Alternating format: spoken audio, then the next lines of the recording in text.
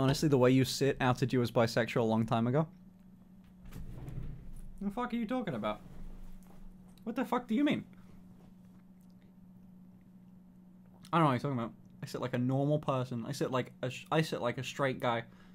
I sit like a, a normal cis straight man. Look at me go. God, can I Google it? Hold on. How do bisexuals sit? Images.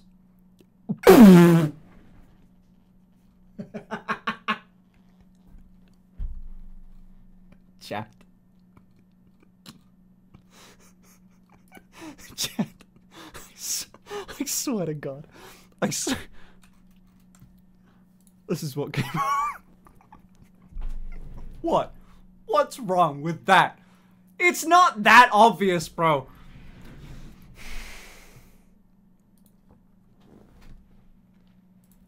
That's fucked up, John. but it is. Yo, I bet you there's like a couple hundred like bisexuals right now that were watching this and just they just went like this or like. Wasn't me. I don't know what you're talking about. anyway, I know someone did that. Oh my god. Stop reading me. I will. Oh, dude. Ash- oh, Ashley's so hyped up, by the way, because she can film so many TikToks now.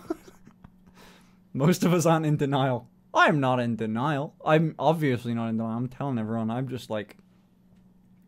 I just, I just see. I just think it's um, it's uh, there's a word for what I'm going for. It's like demeaning. No, it's uh, it's.